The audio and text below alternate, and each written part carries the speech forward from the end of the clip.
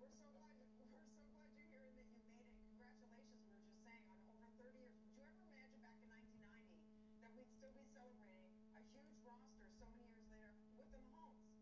Yeah, know it's incredible. It's it's a testimony to Finny's work ethic.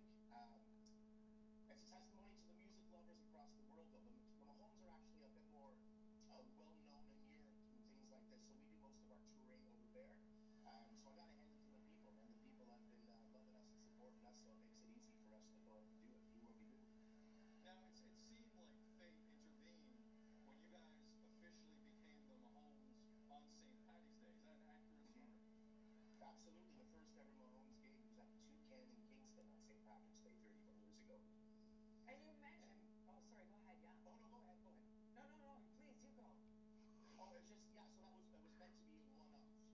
Basically, let's do a one-off gig, and uh, and now 30 years later, we've just uh, digitized that show and added a few things, and now releasing it for worldwide consumption. So it is incredible how it just came from one idea to now here we are 30 years later. And listen, we just saw the concert footage. Everybody can't wait to get back to those days. But you've been very busy uh, putting a lot of stuff out. So talk to us about what you've been doing over the, the last year. Well, we've released a couple of records. One was an unplugged album uh, featuring David Doyle, uh, one of Singers. Um, an acoustic kind of stripped down things that was kind of new for the Mahones to do. And we also released this record here, which I'd like to show. This is our 30th anniversary album. Ooh. There we go.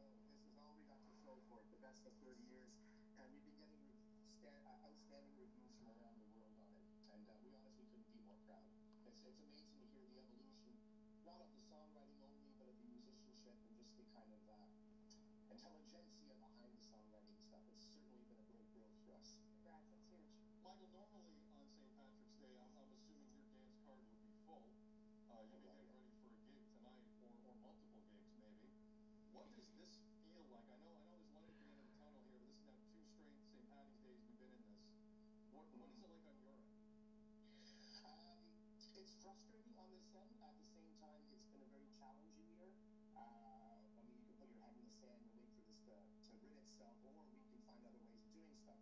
I personally have been doing a live stream every Saturday since May called Unsober Saturdays.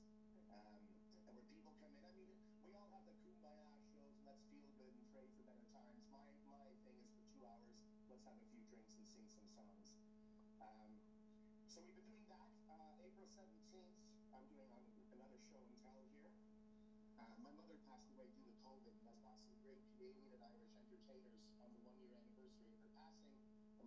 we're going to raise some money for a hospice foundation in Ireland. Got Kevin Hearn, Anne Griner, uh, Finny, Derek Down, and some, some tremendous acts. So, and beyond that,